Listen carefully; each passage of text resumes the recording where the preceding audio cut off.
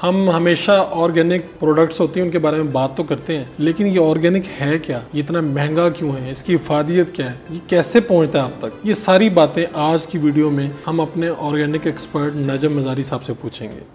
Urdu point की videos देखने के लिए हमारा चैनल सब्सक्राइब कीजिए और बेल के आइकन पर क्लिक कीजिए ताकि आप हमारी तमाम आने वाली वीडियो से बाखबर रह सकें। वालेकुम नाजरीन, आप देख रहे हैं उर्दू पॉइंट और मैं हूँ फरूक वड़ाइच। हम हमेशा ऑर्गेनिक के जो प्रोडक्ट्स होती हैं, उनके बारे में बात तो करते हैं, लेकिन ये ऑर्गेनिक है क्या? ये इतना महँगा क्यों है? इसकी इफादियत क्या है? ये कैसे पहुँचता है आप तक?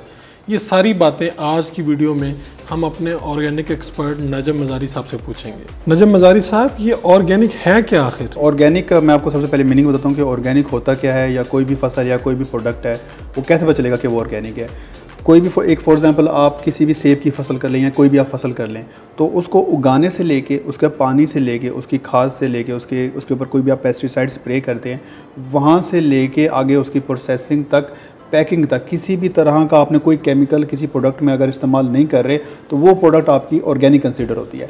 यानी कोई भी अगर आप फ़सल कर रहे हैं तो कोई आपने उसमें केमिकल खाद नहीं इस्तेमाल करनी। आप खाद इस्तेमाल कर सकते हैं, लेकिन नेचुरल ऑर्गेनिक खाद इस्तेमाल करें अच्छा। अगर आपने स्प्रे भी करना है तो नीम से बने हुए जो नेचुरल पेस्टिसाइड स्प्रे होते हैं आपने वो करना है उसके बाद अगर वो कोई भी फ़सल है कोई भी जैसे टमाटर है या टर्मेरिक है हल्दी है या सिनेमोन है या कोई भी अदरक की कोई फ़सल है तो उसके बाद जो उसका वॉशिंग का प्रोसीजर होता है उसमें भी किसी तरह का आपने कोई केमिकल स्प्रे नहीं करना कोई केमिकल प्रोसीजर उसके ऊपर नहीं करना। आगे पैकिंग में उसको प्रिजर्व करते हुए किसी तरह का भी कोई भी केमिकल इस्तेमाल नहीं करना। बीज से लेके बीज से लेके आगे किसी के हाथ में प्रोडक्ट पहुँचने तक। फिनिशिंग फिनिश प्रोडक्ट हाँ। तक। अगर किसी तरह का भी कोई कहीं पे भी कोई केमिकल का प्रोसीजर अप्लाई नहीं किया गया कोई भी केमिकल इस्तेमाल नहीं किया गया तो वो फ़सल वो प्रोडक्ट आपका जो है ना ऑर्गेनिक कंसिडर होता है। आजकल तो हर तरफ़ एडवर्टाइजमेंट आ रही है ऑर्गेनिक ऑर्गेनिक ये हकीकत है, ये फ्रॉड है। देखें जी ऑर्गेनिक तो हकीकत है। आप कह रहे हैं कि एडवर्टाइजमेंट अब देखें, ज़ाहिर सी बात है, आजकल उसकी मार्केट हुई हुई है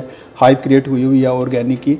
तो अगर वो कोई भी प्रोडक्ट होता है तो सबसे पहले तो आपको खुद मेक श्योर करना चाहिए कि जो आप प्रोडक्ट खरीद रहे हैं, कि वाकई वो ऑर्गेनिक है या नहीं। सबसे पहले चीज़ आती है उसकी सर्टिफिकेशन की। तो बड़े अफसोस से कहना पड़ रहा है कि पाकिस्तान में कोई ऐसी बॉडी नहीं है, कोई ऐसे गवर्नमेंट का कोई ऐसा इदारा नहीं है इवन कि कोई प्राइवेट भी ऐसी कोई बॉडी नहीं है, जो आपको ऑर्गेनिक की सर्टिफिकेशन दे सके प्रोडक्ट की। तो जितने भी ब्रांड्स हैं, इनको मजबूरन जो है ना, बाहर अमेरिका से या यूएसए से कैनेडा से इंडिया से, इन कंट्री से ऑर्गेनिक की सर्टिफिकेशन लेनी पड़ रही है, जो कि काफ़ी कॉस्टली है। तो जिसकी वजह से जो ब्रांड्स हैं, वो नहीं ले पा रहे सर्टिफिकेशन दूसरी चीज़, अब हम पे ये ज़िम्मेदारी आती है कि हम थोड़ा बहुत ऑर्गेनिक को स्टडी कर लें। कि ऑर्गेनिक होता क्या है उसकी पहचान कैसे है अमूमन जो ऑर्गेनिक की प्रोडक्शन होती है वो दूसरे जो कमर्शियल प्रोडक्ट्स होते हैं उनसे कम ही होती है। और उसका जो फल होता है और जो उसका फ्रूट है फॉर एग्जांपल अगर आप सेब की एग्जांपल ले लें तो सेब जो ऑर्गेनिक सेब होता है वो आम सेब से उसका साइज़ छोटा होता है। अच्छा और उसमें कि देखने में देखने में ज़्यादा आपको लगेगा कि यार ये प्रोडक्ट तो उस तरह की नहीं है। बिल्कुल। और जो दूसरी होती है जो कमर्शियल जिस पर जैसी बात उन्होंने स्प्रे किया होता है बाकी चीज़ें की चीज़ों का इस्तेमाल किया जाता है तो उनकी वजह से जो उनकी लुक होती है जो कमर्शियल प्रोडक्ट है उनकी ना लुक क्लियर होती है। आपने कहा कि ये ऑर्गेनिक जो चीज़ है वो देखने में साइज़ का कम हो सकती है साइज़ में उतनी खूबसूरत खुशनुमा नहीं हो सकती जितनी हमने मसनू तौर पर जो उगाई हुई है। तो आखिर कोई क्यों ख़रीदेगा? दूसरी ऑर्गेनिक देख जो देखने में चीज़ लगती है वही खरीदी जाती है। ये तो अब लोगों में जो है ना इसकी समझ होनी चाहिए कि देखें जब जो चीज़ जैसे सेब की मैं एक एग्जांपल दे रहा हूँ आपको सेब से ही समझाता हूँ कि देखें जब उसके ऊपर आप केमिकल स्प्रे करते हैं तो किसी भी तरह के उसके ऊपर कीड़े मकोड़े नहीं आते।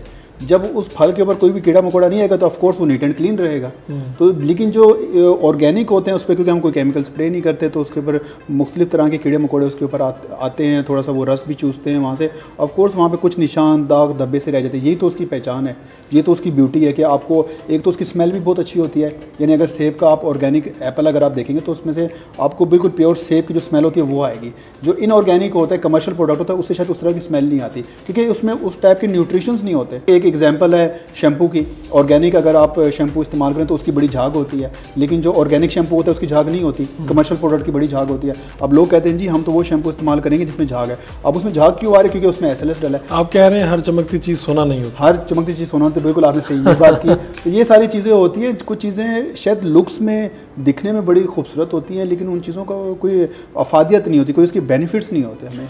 ये मजारी साहब ऑर्गेनिक के ऊपर बहुत बड़ा एतराज़ है इतनी महँगी क्यों होती है प्रोडक्ट्स ऑर्गेनिक असल में आया कहाँ से था? ऑर्गेनिक तब आया था जब दूसरी जंग अजीम या उससे पहले भी जब जब भी जंगें होती हैं ना तो फ़ूड की बड़ी शॉर्टेज होता है, हो जाती है। तो फ़ूड की शॉर्टेज को बचाने के लिए गवर्नमेंट क्या करती है, जब मुख्तु जो प्राइवेट बॉडीज़ होती हैं, वो क्या करती हैं? फार्मर्स भी इसमें इन्वॉल्व होते हैं। वो उस फ़सल को क्रॉप को बचाने के लिए उसमें प्रिजर्वेटिव ऐड करते हैं ताकि उसकी शेल्फ लाइफ बढ़ जाए। अब किसी भी प्रोडक्ट की शेल्फ लाइफ तो बढ़ जाती है लेकिन जो आपने उसमें प्रिजर्वेटिव डाला है वो कितना नुकसानदेह होता है? तो इस चीज़ इस इस वजह से ना ऐसे प्रिजर्वेटिव बनाए जाते हैं जो कि चीज़ों को फ़सल को काफ़ी देर तक महफूज करके रखें। अब उसमें आपने पूछा कि जी ये महँगे क्यों होते हैं? महँगे इसलिए होते हैं क्योंकि इसमें ज़्यादा लोग कोई काम कर नहीं रहे। अभी कंजप्शन ज़्यादा है पीछे फार्मर प्रोडक्शन कम है। अगर एक मन बन रहा है और कंज्यूम करने करने के करने के लिए हमें दो मन की ज़रूरत है ऑफ़ कोर्स जो फार्मर है उस प्रोडक्ट को महँगा सेल करता है।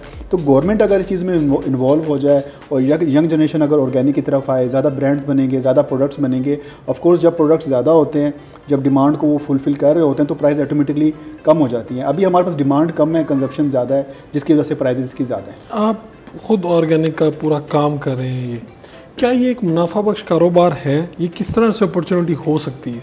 जी देखें ऑर्गेनिक बिल्कुल एक मुनाफा बख्श कारोबार है, कोई नए जितने भी यंग जनरेशन अगर आप देख रहे हैं आजकल काफ़ी ऑर्गेनिक दिन ब दिन मुझे तो नज़र आ रहे हैं नए नए ब्रांड्स अब मार्केट में मुतारफ़ हो रहे हैं। ऑफकोर्स उनको एक मार्केट गैप नज़र आ रहा है, एक मार्केट में अपॉर्चुनिटी नज़र आ रही है तो जिसकी वजह से वो लोग जा रहे हैं। तो बस सबको मेरी यही सलाह होगी कि जब भी आप प्रोडक्ट लॉन्च करती हैं या कोई भी अगर आप बिज़नेस की तरफ़ आते हैं, आप ऐसा प्रोडक्ट लॉन्च करें जो कि पहले मार्केट में ना हो। किसी दूसरे ब्रांड को किसी दूसरे प्रोडक्ट को आपने कॉपी नहीं करना। आप कॉपी करेंगे तो आप मारे जाएँगे। स्पेस देखें कहाँ पे? स्पेस देखें देखें अपॉर्चुनिटीज़ देखें कि देखें दस हज़ार प्रोडक्ट्स हैं। अगर एक ब्रांड के पास कोई सौ दो सौ प्रोडक्ट्स हैं तो आप देखें कि यार दस हज़ार और प्रोडक्ट्स हैं आप वो भी लॉन्च कर सकते हैं। आप स्पाइसिस में आ सकते हैं। स्पाइसेस में एक बहुत बड़ी स्पेस पड़ी है। पूरी मार्केट में कहीं पर ऑर्गेनिक स्पाइसिस नहीं है। ऑर्गेनिक ड्राई फ्रूट्स नहीं है। कमर्शियल आम ड्राई फ्रूट्स तो आपको मिल जाते हैं। ऑर्गेनिक नहीं मिलते आपको। उसमें एक बहुत बड़ी है आप ऑर्गेनिक आटे की तरफ़ जा सकते हैं। ऑर्गेनिक इवन के फ्रूट्स भी हर तरह से अवेलेबल नहीं आपको ऑर्गेनिक टमाटर शायद ही लाहौर में या पूरे पाकिस्तान में शायद ही कहीं से आपको मिलेगा। तो फ्रूट्स में वेजिटेबल्स में उसमें एक बहुत ज़्यादा स्कोप है और बहुत ज़्यादा स्पेस पड़ी हुई है। शुरू कहाँ से किया जा सकता है? अगर हम एक अंदाज़ा बता सकते हैं जी देखें अगर आप इसकी मार्केट की बात करें तो वर्ल्ड वाइड ये 60 बिलियन डॉलर की इंडस्ट्री है। 60 बहुत बड़ी ये लेवल की इंडस्ट्री है और इसमें जो सबसे ज़्यादा फ़ायदा उठा सकता है वो पाकिस्तान इंडिया और चाइना, बांग्लादेश, श्रीलंका, ये कंट्रीज़ बहुत ज़्यादा, क्योंकि हम रिच हैं ऑर्गेनिक में चीज़ों में और फार्मर्स हमारे सदियों से जो है इसको उगा रहे हैं और हम उसमें ट्रेंड भी हैं। तो ये सेंट्रल एशिया के जो कंट्रीज़ है, ये से बड़ा फ़ायदा उठा सकते हैं। सिक्सटी बिलियन डॉलर की ये इंडस्ट्री है। तो उसमें हमारा फार्मर अगर इसमें इंटरेस्ट डेवलप हो और फार्मर को एजुकेट किया जाए, जो फार्मर ऑलरेडी है, उसको तो एजुकेट करने की ज़रूरत है। मेरे ख्याल में जो नई यंग जनरेशन आ रही है, वो देखें ना, आप मीडिया में लोग बड़ा जा रहे हैं एचआर की तरफ़ जा रहे हैं मार्केटिंग की तरफ़ काफ़ी लोगों का है। आईटी का एक नया रुझान आया हुआ है। आजकल आप देख रहे होंगे सोशल मीडिया पे अमेज़ोन की तरफ़ लोग काफ़ी जा रहे हैं। तो मैं लोगों को रिकमेंड करूँगा कि ऑर्गेनिक की तरफ़ भी आएँ। आप फार्मर्स भी बने। यंग फार्मर्स भी हमारे मुल्क में होने चाहिए। आप देखें हमारे मुल्क में यंग फार्मर्स नहीं है। आप दुनिया में है यंग दु, दुनिया में बिल्कुल यंग फार्मर्स होते हैं। मैं इंटरनेशनल हमारे बाहर से हमारे काफ़ी इंग्रेडिएंट्स हैं जो मैं यूरोप से सोर्स करता हूँ। तो जब भी मैं उनसे कम्युनिकेशन करता हूँ सारे यंग लोग ही होते हैं। लेकिन पाकिस्तान में मेरे जितना भी फार्मर्स है मेरी कम्युनिकेशन सारे वो बड़ी उम्र के या फिर वो गरीब हैं या वो बुज़ुर्ग हजरात हैं जिनके पास कोई काम नहीं होता तो कहते हैं चलो मेरे पास ज़मीन पड़ी है मैं यहाँ कुछ उगा लेता हूँ। उसकी वजह ये कि हमारी ना यूनिवर्सिटीज़ भी उस टाइप के बच्चे प्रोड्यूस नहीं कर रही ना। इंकरेज ही नहीं करती इंकरेज ही नहीं कर रही। लाहौर में मुझे लगता है तीस से चालीस यूनिवर्सिटियों में तीस से चालीस यूनिवर्सिटियों में मुझे लगता है कि एच के कोर्सेज पढ़ाए जा रहे हैं या मार्केटिंग के पढ़ाए जा रहे हैं या मीडिया से रिलेटेड इतने ज़्यादा कोर्स ऑफ़र किए जा रहे हैं। तीस चालीस यूनिवर्सिटीज़ में तो ऑफ़र कर रहे होंगे। लेकिन जो फ़ार्मिंग का है वो शायद ही एक एग्रीकल्चर यूनिवर्सिटी कर रही होगी। इसको यूनिवर्सिटीज़ को भी चाहिए कि एक एज अ कोर्स इसको मुतारफ़ कराया जाए ताकि नए यंग जो बच्चे हैं हमारे, वो फ़ार्मिंग की तरफ़ आएँगे। देखिए, जब यंग जनरेशन फ़ार्मिंग की तरफ़ जब आएगी ना तो आई नो कि मैं आई मेक श्योर कि वो ऑर्गेनिक पे ही काम करेंगे। वरना उनके पढ़ने का फिर क्या फ़ायदा होगा? अगर फिर आगे एक कमर्शियल और केमिकल से भरा प्रोडक्ट्स बनाएँगे उससे लोगों को आगे बीमार करेंगे तो वो जो जो भी यंग जनरेशन फ़ार्मिंग की तरफ़ आएगी, वो ऑर्गेनिक ही पे काम करेगी। तो उसकी एक ज़रूरत है कि अगर लोग इसकी तरफ़ माइल हो जाए तो बड़ा अच्छा है। ऑर्गेनिक की जो प्रोडक्ट्स हैं, इनकी अफादियत अपनी जगह पर लेकिन ये एक इस वक्त बहुत बड़ी इंडस्ट्री की शक्ल इख्तियार कर चुका है। और जैसा कि इन्होंने बताया कि अब नए लोगों को इस तरफ़ आना चाहिए, ना सिर्फ़ इसे इस्तेमाल करना चाहिए, बल्कि इस अपॉर्चुनिटी को भी अवेल करना चाहिए कि इसमें बड़ी स्पेस मौजूद है। अगर आप कोई कारोबार करना चाहते हैं तो आप इस तरफ़ आ सकते हैं। अपने मेज़बान फरोख आज को ज़्यादा दीजिए लाने के बाद